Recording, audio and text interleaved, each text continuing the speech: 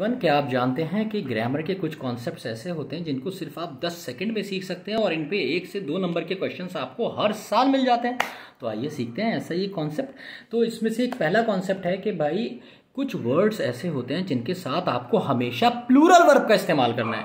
जबकि इसके साथ कभी एस या एस नहीं लगेगा बट आप इसके साथ प्लूरल वर्ब का इस्तेमाल करेंगे। तो कौन कौन से हैं police public vermin V E R M I N vermin. Vermin का मतलब होता है small insect police public vermin cattle infantry gentry cavalry poultry people children yes और gentry G E N T R Y gentry इसमें से जिस word का meaning नहीं पता हो कमेंट कर देना. I will help you out पर याद रखना, ये एग्ज़ाम में कहीं भी दिखें तो इनके साथ यूज़ करेंगे आप हमेशा प्लूरल वर्ब जैसे हैव जैसे आर और बिना एस और ई एस वाला वर्ब लव यू ऑल ये वीडियो आपको पसंद आई हो तो इसे लाइक ज़रूर कीजिएगा.